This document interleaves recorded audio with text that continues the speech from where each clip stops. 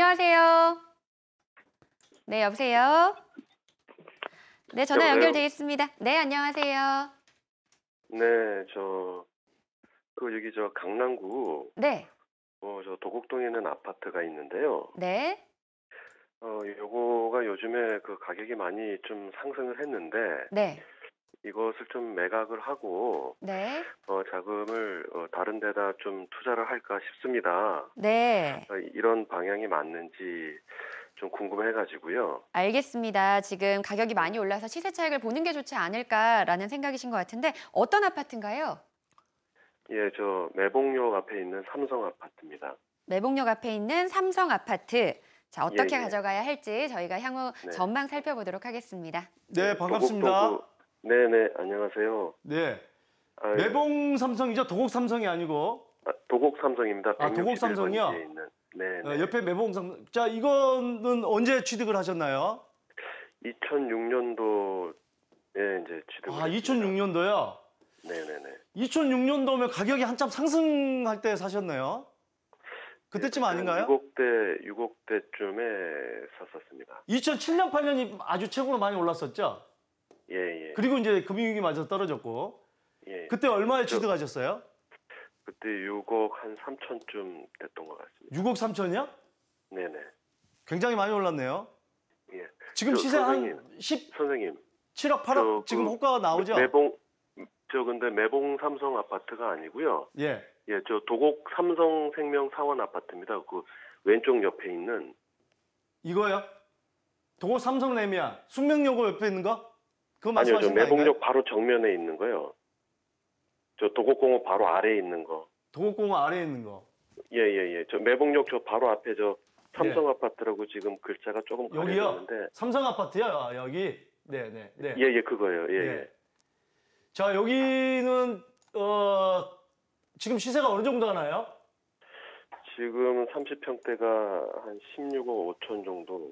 16억 예, 뭐. 5천이요.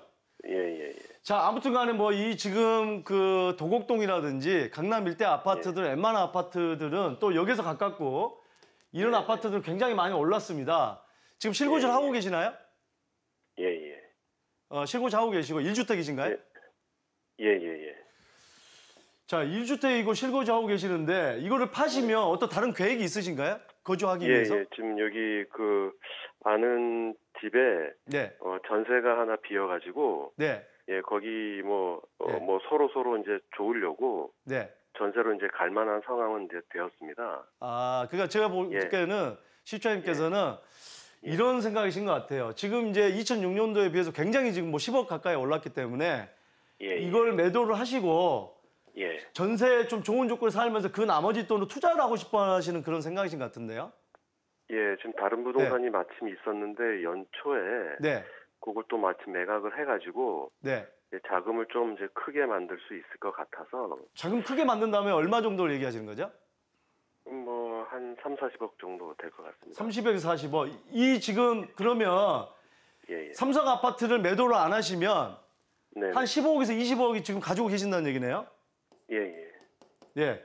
자, 짧게 말씀을 드리면 예. 어 저는 그 지금 1주택자이신데 1주택자 남들은 지금 주택을 못 사서 난리인데 강남권에 이걸 네네. 굳이 매도를 하실 필요는 없다고 봐요.